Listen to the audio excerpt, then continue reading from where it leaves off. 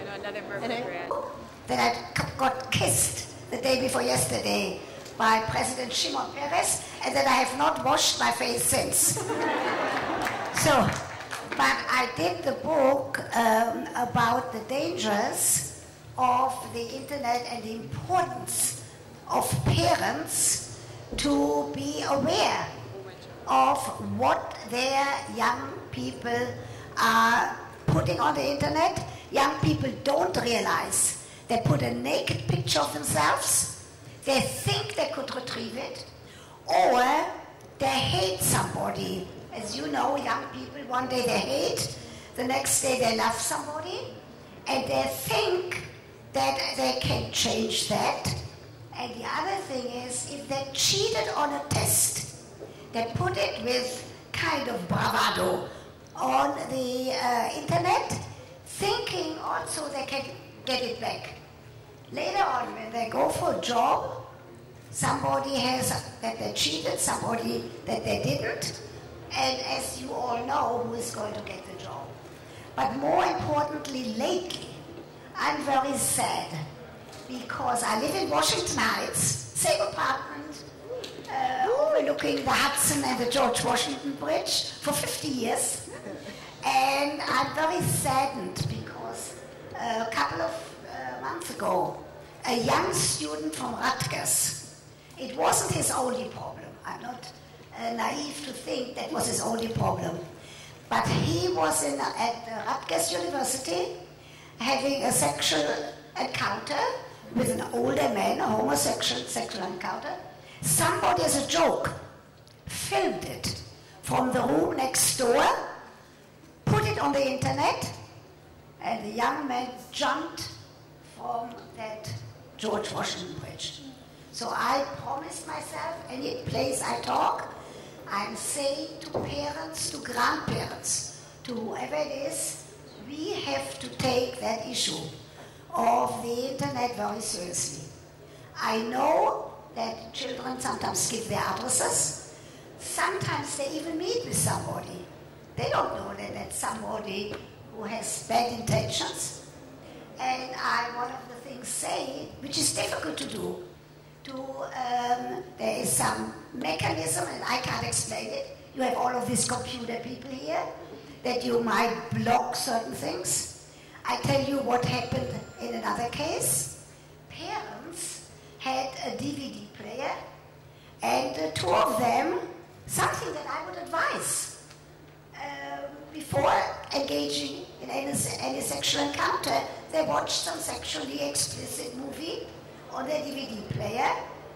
I, might, I probably think they got so carried away, they got so aroused, they forgot that there was one DVD left in the player. And the youngster, of course, found it. So, one of the things at this stage in my life as a sex educator and a sex therapist, I always have said that my children's sex life is not my business. And my sex life, um, now that I'm a widow, or even before, of course, uh, is not none of their business. But that part is uh, changing as we speak. For example, if kids brag, that's what young people do, uh, that they're engaging in oral sex, that they are engaging in hooking up. Uh, very sad because I want people, whenever they decide to be sexually active, depending on their morals, depending on their religious background, depending on when their inner voice tells them. I don't want them to say that publicly, and I also don't want them to engage in any activity just because they don't want to be lonely on a Saturday night. In the States, where I live, so I know most about the States, very sad. Young people don't have a place to congregate, except if they belong to some Tnuat Noar, if they belong to a youth movement, because parents don't want teenagers in the house or in the apartment. They want a little privacy. The, the other problem is that teenagers get to bed so late, so by the time the parents wait to have some sex, so that finally the kids are in bed, they are too tired.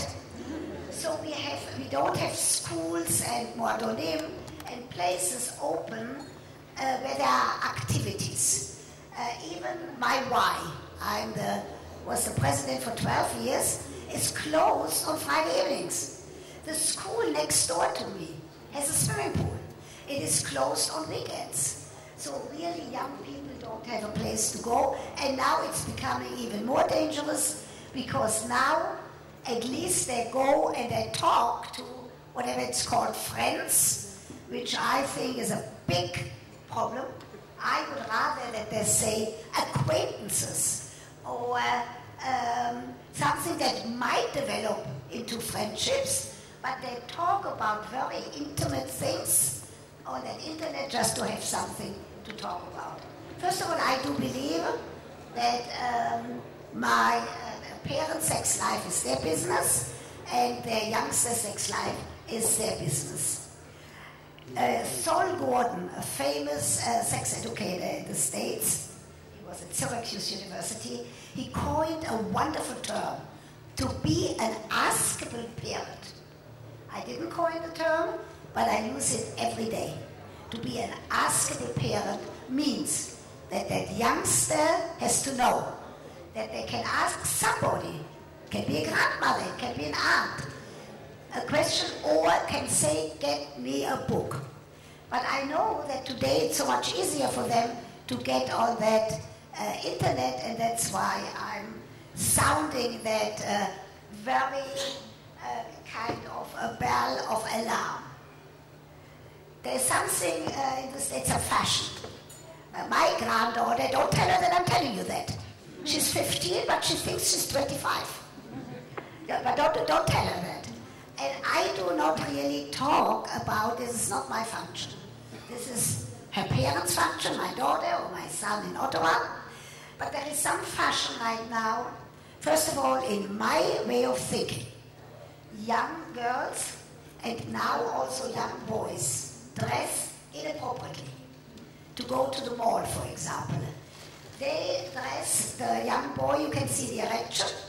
The young girl dresses so provocatively that you can see almost her whole body, a little bit of imagination.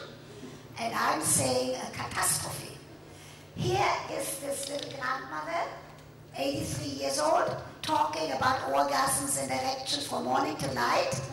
And now I'm talking about the obligation on a parent to say, you cannot go out dressed like this.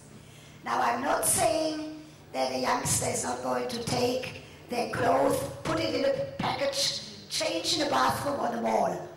That might be. However, the tone is clear. Uh, as long as you live in my house, you have to dress appropriately. Because I don't want to hear more about sexual harassment. I certainly don't want to hear more about rape and other things. I also, and many people do not agree with me, I do believe as much as how open I think that a couple, once the relationship is established, has to be able to talk or to show or to teach about what they need, I also believe that there has to be that part that should be not discussed. For example, uh, here, here's a, a, couple deciding to have sex. They're over age 18. They have made their decision. I don't want her to say to him, my last lover had a bigger penis because I can promise you he's going to lose his erection. and I don't want him to say the last girlfriend had bigger breasts. And so there has to be that kind of line um, that, that, that people have to learn about what not to say. Um, in, you know that in the Jewish tradition, in the Talmud, it says that a lesson taught with humor is a lesson retained. I could never tell you a joke. I hear jokes every day. They go in one ear and out the other. However, I never permitted my late husband, who passed away 15 years ago, to come to any of my talks. Because when I would ask for questions, he would sit here he would raise his hand. I wouldn't be able to ignore him. He would tell all of you, don't listen to her, it's all talk. And Fred Westheimer loved Diane Sawyer. When she came to my apartment, Washington Heights, with 60 Minutes, I did not have the heart to say, Fred, you can't be home. Here we are sitting down, the cameras are rolling, and Diane Sawyer. The first question, she says, Mr. Westheimer, how is your sex life? to which Fred said, the shoemaker's children don't have shoes. and that's what I want sexuality education uh, to be like. Sex, um, sex uh, um, horror stories don't work. Uh, you are all too young. But during World War II, uh, they told American soldiers, they showed them movies of syphilis, of uh, horror movies, and hoping that that would deter them from engaging in any sexual activity. That worked for 48 hours because the libido is very strong. And after 48 hours, they said, like many young people, nothing is going to happen.